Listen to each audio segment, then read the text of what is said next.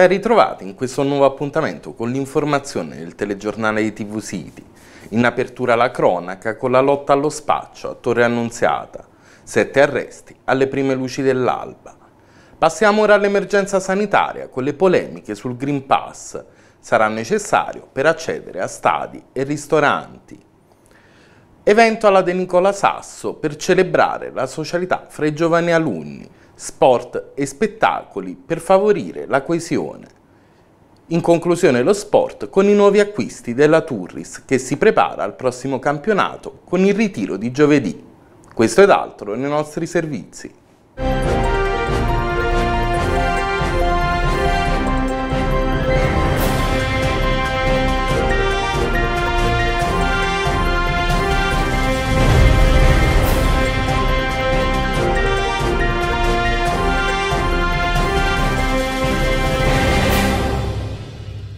I carabinieri del Comando Provinciale di Napoli questa mattina, alle prime luci dell'alba, hanno dato esecuzione a un'ordinanza di custodia cautelare emessa dal giudice per le indagini preliminari di Torre Annunziata su richiesta della Procura, nei confronti di sette indagati ritenuti responsabili di detenzione e spaccio di cocaina, crack e marijuana.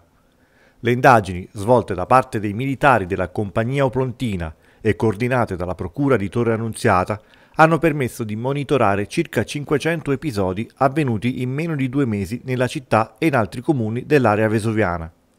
Un intervento che si colloca nel piano per combattere i fenomeni di criminalità sempre più evidenti nel comune oplontino.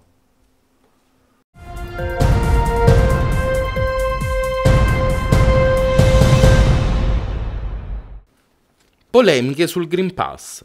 Forse sarà necessario per entrare al ristorante. Sono in arrivo le convocazioni per le riunioni del Comitato Tecnico Scientifico e poi della cabina di regia con il Presidente del Consiglio Mario Draghi sulla spinosa questione del Green Pass che porterà al nuovo decreto anti-Covid da varare in settimana con un lasciapassare allargato e più stringente. Inutile creare confusione intorno al Green Pass. Gli allarmismi sono dannosi per i cittadini, il turismo e per tutta l'economia nel suo complesso a dirlo il ministro del turismo Massimo Garavagna e sottolinea il Green Pass ha senso solo per entrare in discoteca o allo stadio o per partecipare a grandi eventi che prevedono una grande affluenza di pubblico. Il Green Pass allargato, con il ciclo completo di vaccinazioni e non più una sola dose, dovrebbe entrare in vigore inizio agosto anche per evitare cambi di colore delle regioni e mantenere l'Italia bianca almeno fino a metà mese. Il certificato per immunizzati, guariti dal Covid o tamponati negativi entro le 48 ore potrebbe essere obbligatorio anche per i ristoranti al chiuso, ma ci sarà battaglia. Scontato che venga richiesto per stadi, piscine, palestre, concerti e tutte le attività collettive. I nuovi parametri di rischio per le regioni e la proroga dello stato di emergenza dovrebbero incontrare meno ostacoli, secondo le previsioni. I principali partner della maggioranza hanno visioni distanti su vaccini e utilizzi del certificato verde. In un panorama che vede i contagi e il tasso di positività crescere con la variante Delta del coronavirus, anche se le terapie intensive e i reparti ordinari non preoccupano. Polemiche della Lega di Matteo Salvini, che nega di essere Novax, ricorda i genitori vaccinati, ma poi evoca il figlio diciottenne. Mi rifiuto di vedere qualcuno che lo insegue con un tampone o una siringa. Prudenti sì, terrorizzati no. E sul Green Pass dice, leggevo di multe di 400 euro se uno deve farlo per andare a prendere il caffè in piazza. Intanto ne sbarcano a carrettate in Sicilia senza, parlando dei migranti. Intanto la pandemia domenica fa segnare un altro giorno oltre i 3.200 casi, con un tasso di positività che a fronte dell'usuale crollo di testa del sabato sale fino all'1,9%. I pazienti in terapia intensiva però dopo tre giorni di aumento tornano a calare e quelli nei reparti ordinari salgono di 25, non un dato impressionante. Le vittime sono solo tre, ai livelli tra i più bassi dell'anno. Un focolaio da Euro 2020 si segnala a Firenze, con tre persone positive e nove in quarantena, a seguito della finale Italia-Inghilterra davanti a un maxi schermo di un locale all'aperto quello di Roma nel pub di Monteverde per la sfida degli azzurri con il Belgio, ai quarti e al momento il più grande d'Italia, con oltre 90 casi. In Francia, invece, un gruppo di 70 maestri di sci del Friuli Venezia Giulia è rimasto bloccato per diverse positività durante un corso.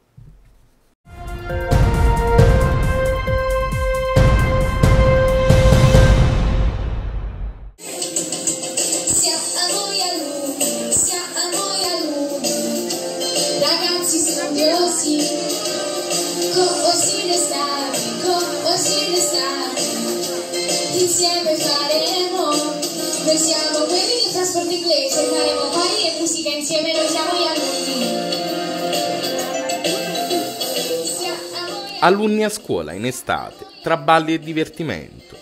Sono stati due anni difficili per gli studenti di tutta Italia. La pandemia e le misure per prevenire la diffusione dei contagi hanno tolto alla scuola uno dei suoi meriti più importanti, quello di favorire la socialità e creare coesione tra i compagni di classe. La DAD ha inevitabilmente separato gli studenti, specialmente i più piccoli, che maggiormente avevano bisogno delle amicizie che possono venirsi a creare solo fra i banchi di scuola. Per questo motivo alla De Nicola Sasso, editore del Greco, in accordo con un PON previsto dal Ministero dell'Istruzione, i giovani alunni sono tornati in classe anche nelle prime due settimane di luglio, con i progetti De Nicolas Summer Camp e Estate a scuola. In pochi giorni realizzare tutto questo è davvero una grande impresa e ci siamo riusciti altamente. Quindi voglio fare i complimenti soprattutto ai nostri alunni che sono stati bravissimi, hanno dimostrato anche loro delle competenze nel ballo, nell'arte, quindi è di buon auspicio anche per il loro futuro, una carriera futura anche come attori e quant'altro, anche ballerini. E voglio complimentarmi anche con i tutor perché hanno dimostrato eh, anche loro delle competenze perché comunque hanno collaborato con i tutor e hanno, dimostrato, hanno collaborato scusate, con gli esperti che hanno dimostrato delle elevate competenze, anzi delle competenze specifiche per i loro moduli assegnati. E naturalmente faccio dei ringraziamenti a tutto il mio staff di presidenza, per il professore Peppe Romano perché ho organizzato alla grande tutto questo, alla mia segretaria Marianna Di Vito, che senza di lei tutto questo non si poteva realizzare. È molto importante il ruolo, ecco perché l'importanza della collaborazione tra dirigente e segretari, disse già questo. Da questo si, dai risultati che abbiamo visto stasera, si evince l'armonia che c'è tra di noi. Non voglio dimenticare eh, i collaboratori scolastici che spesso ce ne dimentichiamo, anche loro hanno un ruolo importante per la realizzazione di, questo, di questi moduli e anche per arrivare oggi a questo evento finale. Complimenti ai tuoi ragazzi, complimenti ai tutor, complimenti ai vostri insegnanti, complimenti a questa scuola che fa sempre emozionare tantissimo il sottoscritto. Ultimamente abbiamo avuto il sacchetto selvaggio e qui avete fatto delle, delle cose eccezionali. Quindi questa ripresa per noi è fondamentale, io spero che a settembre ci, ci rivediamo e ci dobbiamo rivedere in presenza ognuno di noi sta cercando di lavorare in modo migliore perché non possiamo stare in date, non potete praticamente, e nello stesso tempo non dobbiamo rischiare più. Eh, dobbiamo quanto prima far sì che questo tunnel che ormai più, piano piano stiamo trovando le luci di questo tunnel lo, lo, troviamo definitivamente in modo tale che i ragazzi vivono quello che devono vivere perché loro piace stare insieme, piace stare come stanno in questo momento. Quindi grazie per quello che avete fatto e complimenti a tutti quanti voi. Lo scopo di entrambi i moduli è stato proprio quello di favorire la socialità, organizzando spettacoli divertenti oppure creando vere e proprie competizioni sportive, le Denicoliadi. Grande partecipazione da parte dei giovani alunni che non hanno perso l'occasione per recuperare due anni di amicizia, scherzi e risate persi a causa del Covid.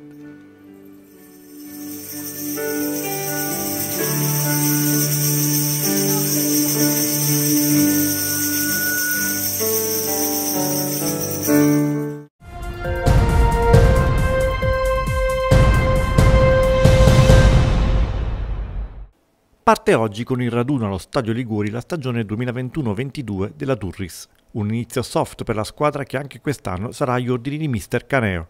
Non sono previste infatti sedute di allenamenti che invece avranno luogo a partire da domani.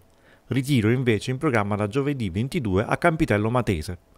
Dopo la salvezza ottenuta non senza qualche affanno nel finale, i corallini punteranno di nuovo al mantenimento della categoria con una squadra rinnovata nei suoi effettivi e dando spazio a giovani interessanti.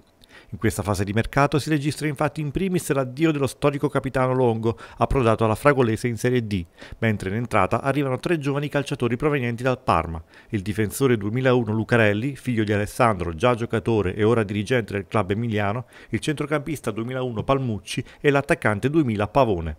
Al raduno saranno presenti anche alcuni calciatori che sembrano avere le valigie pronte, come Abagnale, Dadalt e Rainone, mentre rientrato dal prestito da Brescia Pandolfi.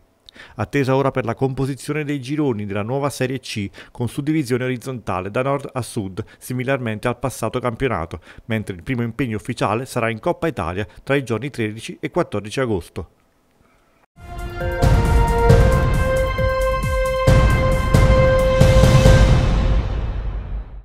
Grazie per la cortese attenzione. Per info e segnalazioni potete contattarci alla mail redazione chiocciolatvcity.it o al numero di telefono 340 65 61 484. E con questo è veramente tutto, io vi do l'appuntamento a domani con altri servizi.